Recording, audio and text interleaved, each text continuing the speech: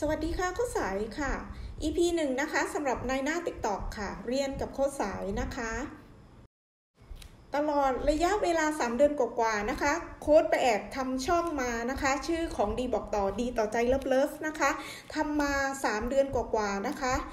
ก็คือมีการลงคลิปนะคะ จะแยกเป็นสินค้าที่ไลฟ์ของดีบอกต่อที่ไลฟ์แล้วก็ตัดคลิปมาลงนะคะ